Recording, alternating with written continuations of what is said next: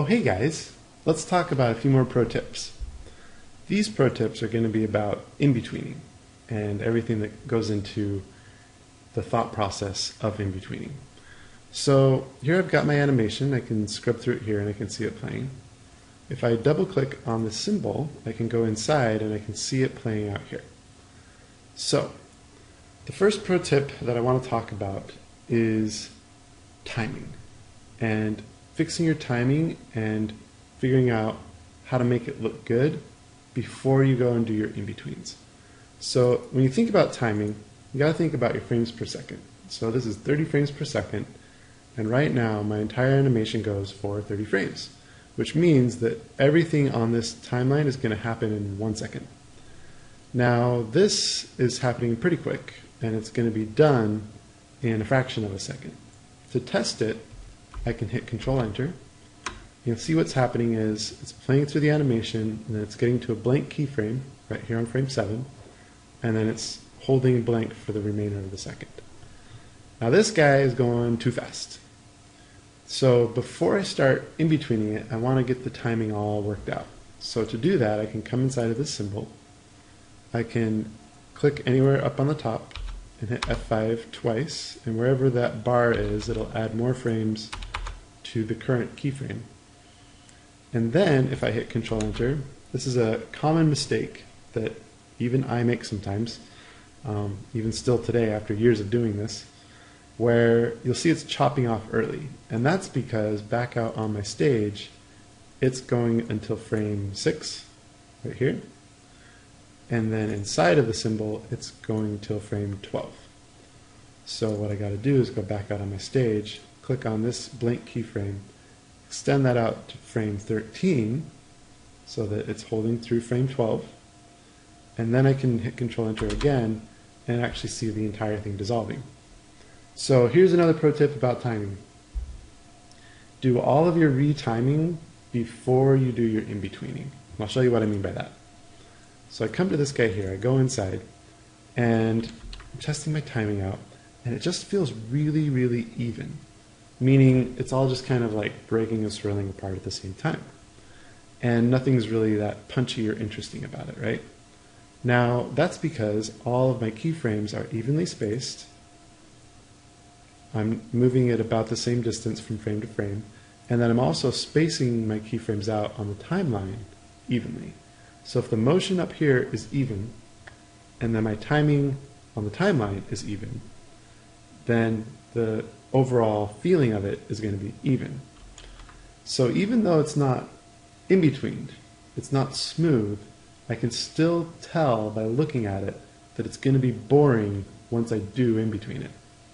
So to prevent myself from extra work later, where you know after I've drawn in every single in between and then I've got to retime it and move things around, that would actually mean that I would need to delete work that I've done. I can avoid all that by, I don't know, grab this bunch here and move them over and see how that feels. So there you go. Now it's got a nice punch at the beginning and then it slows out and I can imagine that slow motion happening at the end.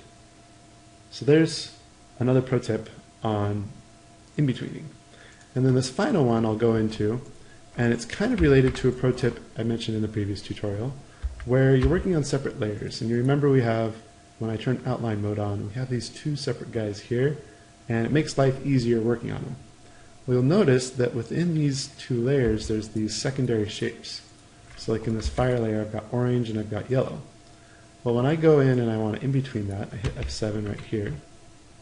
Oops, let's in between this guy. Yeah, right there. Hit F7 there and then I set my onion skin to just one frame before and one frame after, you'll notice that it's really hard to see. Uh, it's hard to see what's what. It's hard to tell where one edge is ending and where another one's beginning.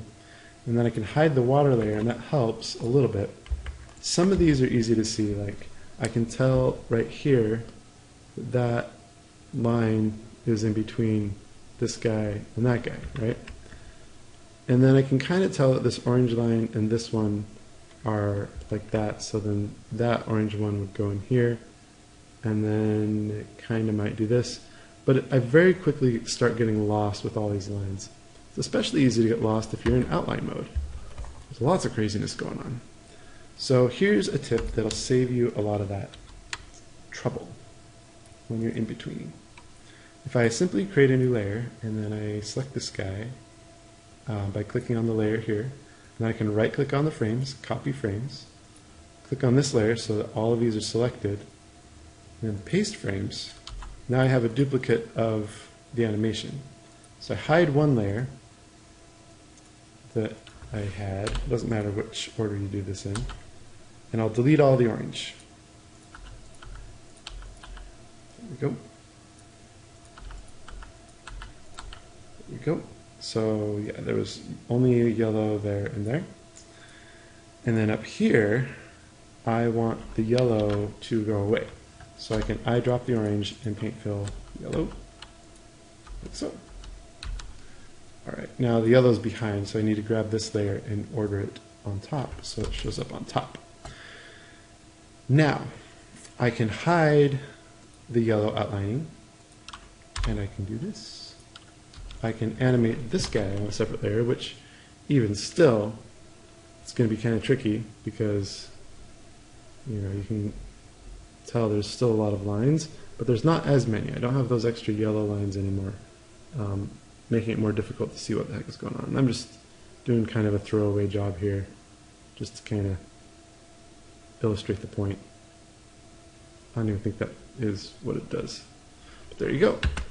And then I grab my color and I can't fill it because I'm missing an outline, but that's not the point. But I'm a perfectionist, so I'm going to fix it. Okay, there we go.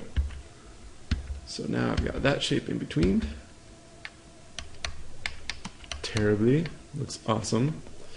And then I can hit F7 on this layer and I can in between these shapes.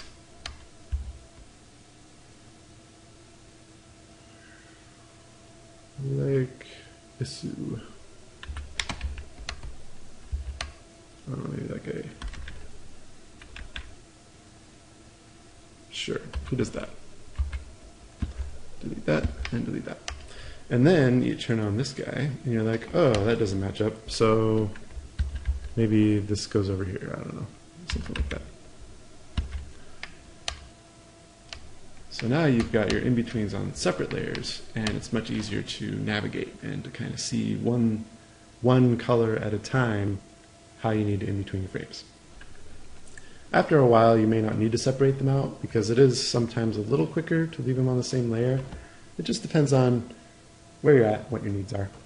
So there's a few pro tips on in-betweening. Hope you enjoyed the tutorial and I hope you learned something.